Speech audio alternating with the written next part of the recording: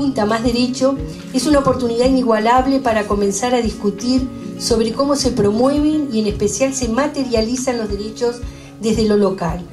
Poder lograr enriquecernos sobre determinados ejes temáticos, que en este caso es el derecho de las personas mayores, para poder después aportar en el legislativo departamental en algunas iniciativas concretas. Hay distintas vejeces en el Uruguay y creo que ese es el principal desafío, ¿no? trabajar, trabajar para eliminar las desigualdades en el país.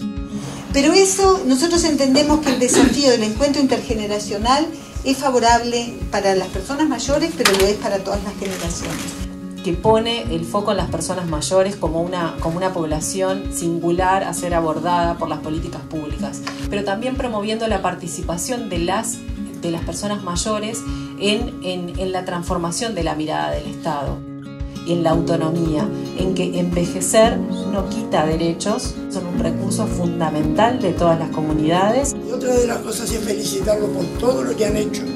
Simplemente yo les muestro una cosa, esta revista ni la soñábamos en el año 80 cuando estábamos en geriatría trabajando. Nuestro grupo fue fundado en el 2002 por un grupo de vecinos notamos la carencia de lugares de, de encuentro y nos costó mucho sostenerlo.